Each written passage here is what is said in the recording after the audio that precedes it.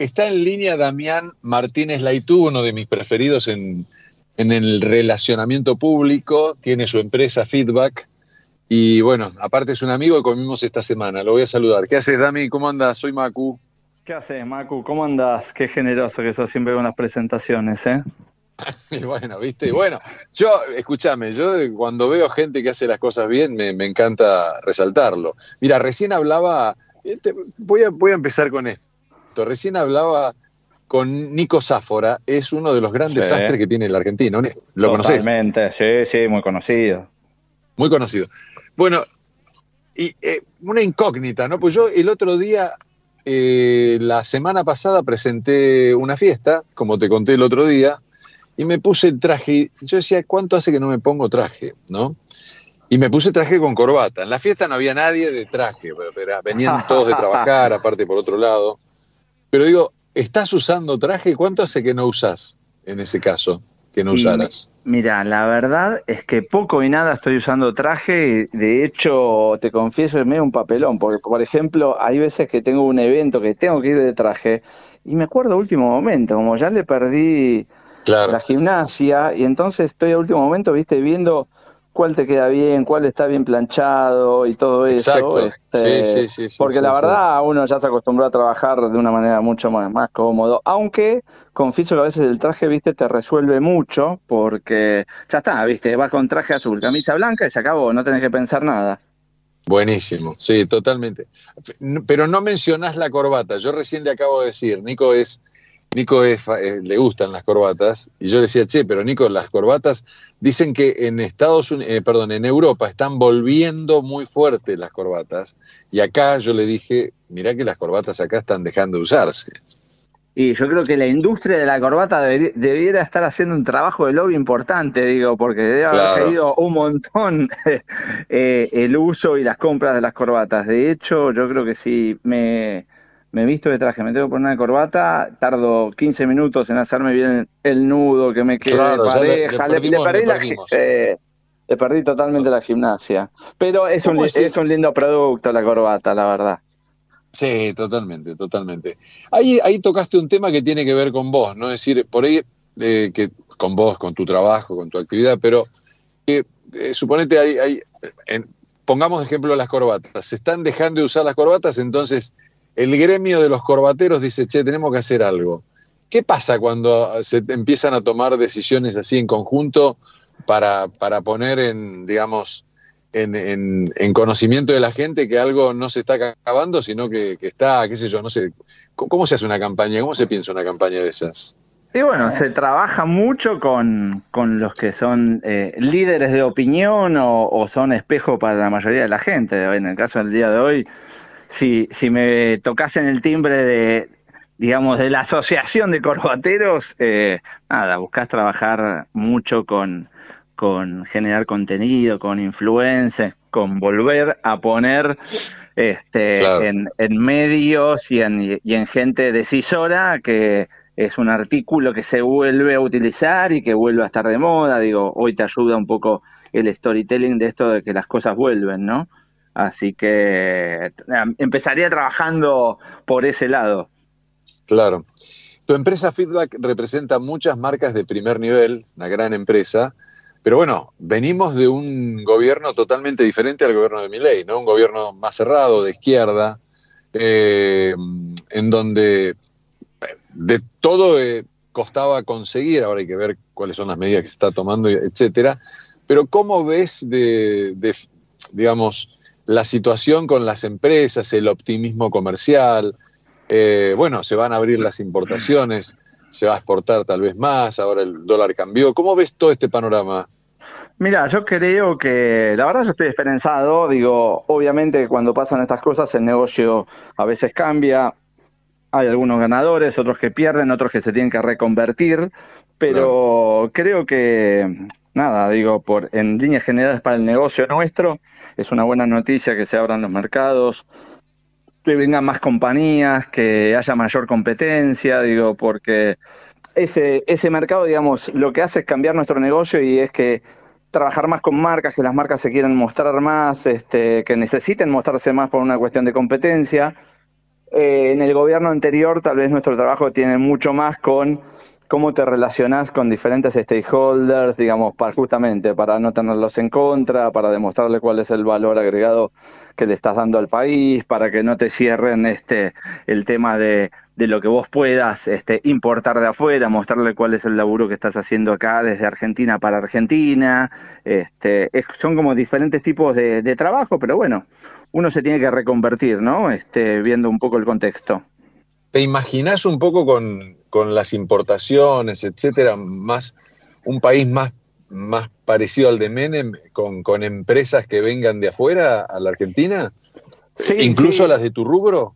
Sí, yo, a ver, yo creo que sí, creo que van a tardar un poco más, me parece que lo de en la época de, de los 90 fue como más abrupto todo y hubo un gran desembarco, digamos, Menem fue muy fuerte con el tema de las privatizaciones de, de entrada, digo, hoy no hay tanto para privatizar, creo que nos van a mirar de reojo, digamos, con esta cosa de que nosotros, viste, nos bandeamos de un lado para el otro, en que van a mirar, este, digo, me parece que hay muchas marcas que también eh, se comieron algún chasco en la época de Macri, ¿no? decir, che, desembarcamos y uy, a los cuatro años nos tenemos que ir de nuevo. Eh, creo que lo van a mirar por ese lado, pero para mí es una gran ventana y una gran oportunidad para que, haya mayor competencia, más marcas, este, con lo cual eh, para mí es súper auspicioso el, futuro, más allá que el corto plazo va a estar muy duro para todos, pero bueno, es lo que siempre digo, un cáncer no lo curas con una aspirina, así que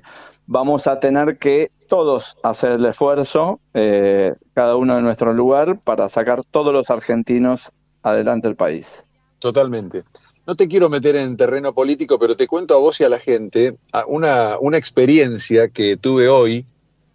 Alguien me mandó por Instagram una, como si fuera una concejal, una diputada, no sé qué, americana, eh, que hablaba en español, que decía que iban a pedir en el Congreso de Estados Unidos, ella es eh, congresista, eh, que el Fondo Monetario Internacional trate muy bien a ley, le dé plazos, etcétera, etcétera, etcétera, como lo hacía con los Kirchner, ¿no? Y que lo van a ella estaba con el fondo del Congreso de Estados Unidos. Me pareció tan bueno lo que dijo que se lo mandé a Javier Milei por su Instagram y me lo respondió con un corazoncito. Es decir, lo que te quiero decir es, tenemos un presidente más joven, que está muy vinculado al mundo de las redes, que las mira, que está, que está decidiendo cosas súper importantes, está este, ejerciendo de presidente, pero sin embargo está atento a, a, esos movimientos. ¿Qué te parece todo ese mundo y qué te parece toda esa adaptación de un, de un tipo que es el número uno en la Argentina que tuvo ese pequeño gesto conmigo que capaz que lo tiene con miles de personas? Y mira, para mí ese fue el gran secreto de su éxito, ¿no? Un presidente que realmente piensa que trabaja para vos, que sos el ciudadano, eh, y que yo creo que él piensa que es empleado nuestro y no que es un político que está pensando en cómo solamente rosquear para poderse quedar este ocho años y después eh, ver a quién sienta ahí y entrar en toda la dinámica de la política que a mí en lo personal, más allá de los partidos, no, no me gusta. Creo que la gente se cansó de eso eh, y creo que por eso la gente busca un tipo totalmente normal. Creo que eh, algo que se ha dado mucho en el, en el debate es que apenas terminaba el debate vos decías, eh, ganó masa.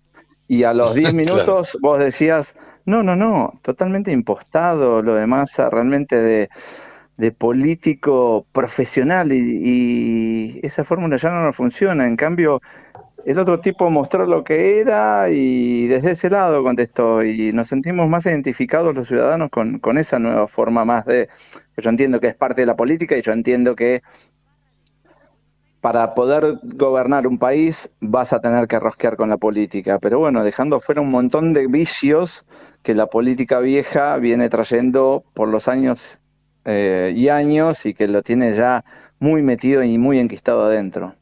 Sí, Interesante tu opinión porque dijiste dos cosas ahí que me, que me gustan. Una es eh, un tipo que trabaja para nosotros, siente que trabaja para nosotros, que por, por Javier Milei. Y, eh, y, el tema del debate, me interesa esa mirada que hiciste recién de el, que pensamos que había, se pensaba que había sido ganador, pero sin embargo la gente decidió por él, entre comillas, más débil de los dos, en el sentido de, la posición, de la impostura, etcétera, de, ese debate. ¿Y qué, ¿Y qué pensás de los debates? Este, y, si, y si esos. porque yo, por, ejemplo, decía, el debate no cambia la opinión. Por, ejemplo, si, si ley tenía el 30%, yo digo, no va a tener el 25% porque se le van a ir por el debate. Yo creo que el, núcleo duro de los políticos lo sigue votando igual. ¿Cómo lo ves vos?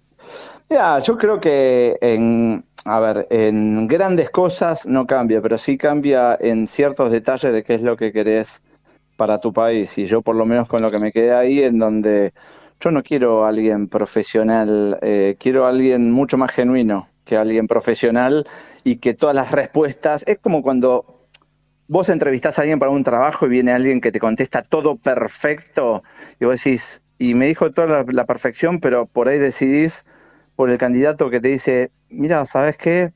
Eso no lo sé hacer, pero voy a poner todo de mí o voy a buscar las herramientas o me voy a apoyar en esto para hacerlo bien. ¿Viste? Decís, che, eso me resulta mucho más genuino que el que te contesta todo perfecto y te dice que no tiene puntos ciegos, que todo lo sabe, que todo. Y creo que nos mintieron tanto tiempo a los argentinos que, que ya nos hinchamos, digamos, de, de, escuchar eso y nada. Y en definitiva, cuando vos ves los números, digo, es el presidente más votado, ¿no?